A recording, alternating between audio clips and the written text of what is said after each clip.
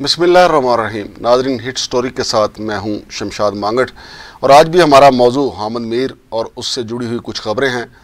तो नाजरीन, मैं आपको ये बताना चाहता हूँ कि हामद मीर के हवाले से जो ख़बरें नशर हो रही हैं और कहा जा रहा है कि उनका प्रोग्राम कैपिटल टाक बंद कर दिया गया है। और ये इस्लामाबाद की मुसदा खबर है कि ये मिली भगत है। चूँकि आप जानते होंगे कि माजी करीम में जंग और जुए की जो पॉलिसी रही है, वो एंटी एस्टेब्लिशमेंट रही है। लिहाजा कोई नई बात नहीं, हामद मीर ने जो बातें की हैं, वो पहले भी जंग और जियो की पॉलिसी रही है।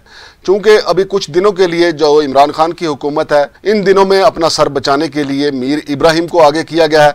और मीर इब्राहिम की जो पॉलिसी है, वो यही पॉलिसी है कि बिज़नेस किसी ना किसी तरीके से दोनों इदारों का बचाया जाए।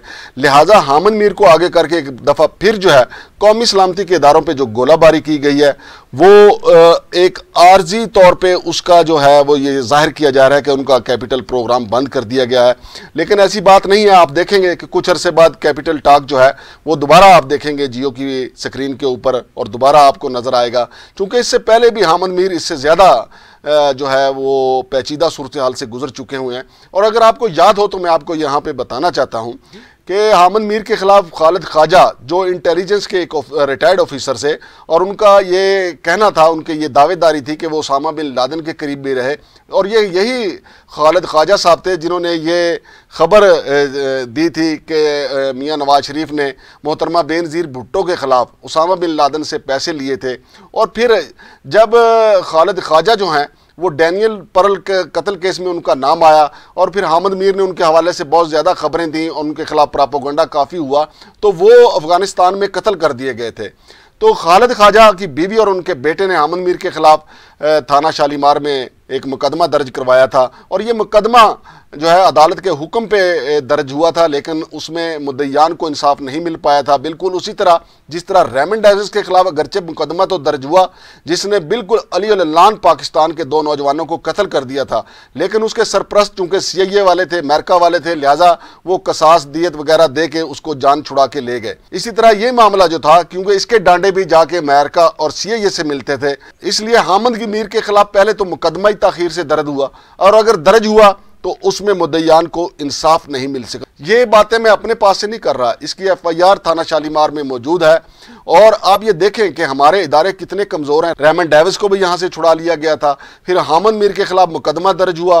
तो लेकिन मुद्दयान को कोई इंसाफ ना मिल सका। और खालिद ख्वाजा का जो कत्ल था, आज तक उसके जो कातलिन है यही कहा जाता है कि जी वो तालिबान ने उनको मार दिया था। लेकिन उनके जो बीवी और बेटा जो थे, उनका ये दावा था कि हमारे बाप के कत्ल के पीछे हामद मीर का हाथ है। तो हामद मीर पे हाथ इसलिए डाला जा सका चूँकि उसके सरप्रस्त अमेरिका में बैठे हुए हैं।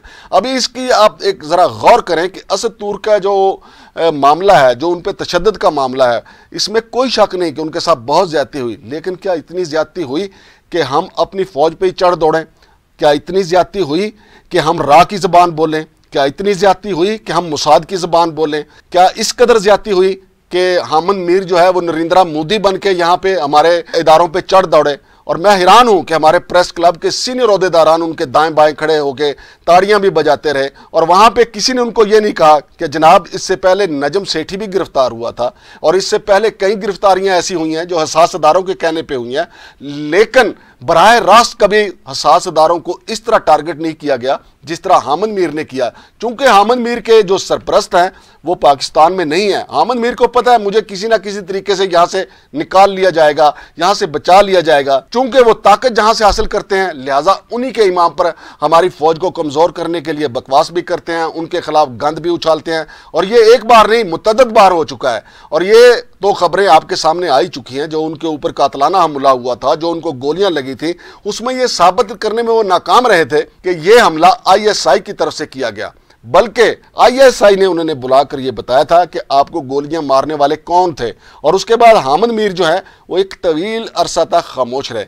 आपको मैं हामद मीर के ताकतवर होने का यह भी बता दूँ, चंद साल पहले जब एफबीआर ने नजायज असासों पर कार्रवाइयों का आगाज़ किया था तो एक नोटिस हामद मीर को भी भेजा गया था।